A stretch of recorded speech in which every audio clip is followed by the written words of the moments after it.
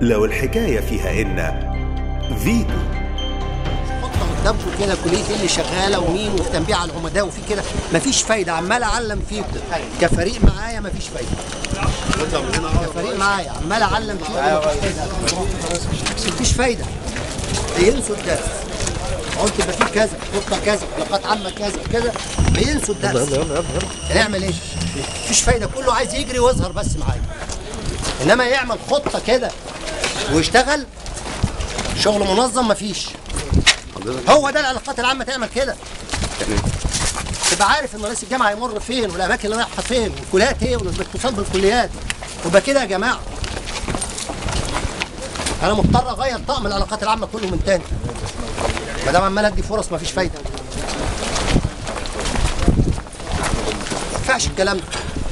يبقى ليا خطة رئيس الجامعة ده في بداية عند راسي يبقى عندي تصور للرؤى. التحرك هيبقى فين؟